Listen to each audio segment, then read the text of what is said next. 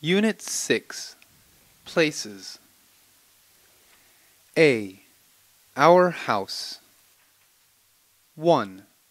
Listen and read. Then ask and answer the questions. Hello, my name's Thuy. I'm 12 and I'm a student. I have a brother, Minh. He's 20. We live in a house near a lake.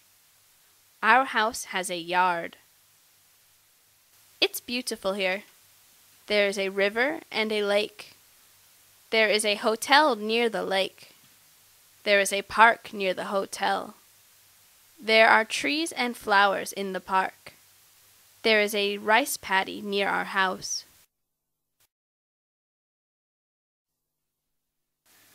Questions A. How old is Thuy? B.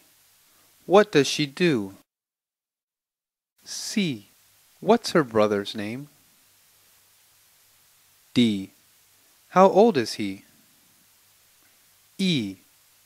Where does Thuy live? F. What's there, near the house? 4. Listen. Write the words you hear in your exercise book. 1. There's a hotel near the park.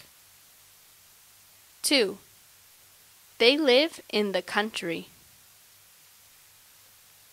3. The rice paddy is on the Mekong River. 6.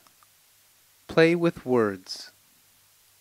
Houses and parks, flowers and trees, lakes and rivers.